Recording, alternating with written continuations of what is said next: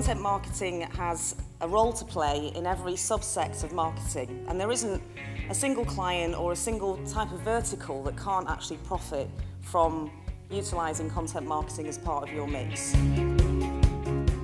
Almost all the major brands in all the industries are using content marketing in some way. There's no such thing as content marketing.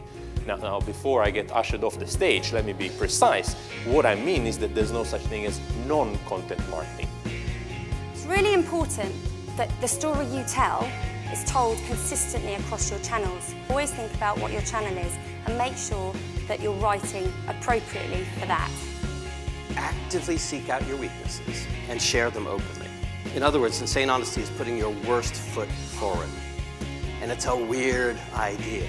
A thought leader is someone who looks at the present and sets a better course for the future that compels others to follow. Every single month there's 14.9 billion beauty-related views on YouTube. So when you look at these 15 billion, just under 15 billion video views on beauty content, 3% are created by brands. So at the very least, it's important to understand that. We firmly believe that brilliant advertising is only possible if you have an equal balance of art and science.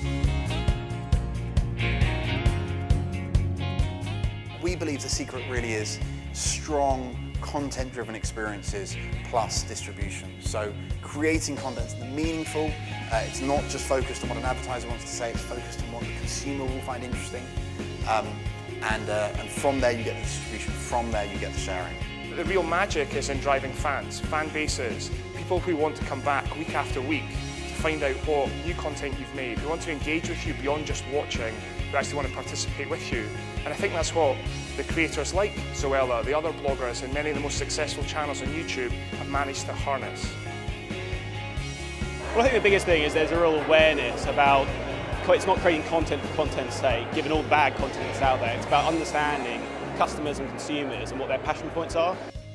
The advert that you serve in front of your YouTube video, um, people have the ability to skip that out in five seconds. If it's a true video advert, you hold them prisoner to that 30 seconds, then the audience will kick back and they will go and watch something else. You have to start with the story. It has to be, it has to have a great narrative arc. It has to be of a certain production value for the audience to invest in it. And once the audience invests in it, um, that client, the client that's underwritten it, that, that sponsored it, can get a lot out of that uh, at the back end, if you like.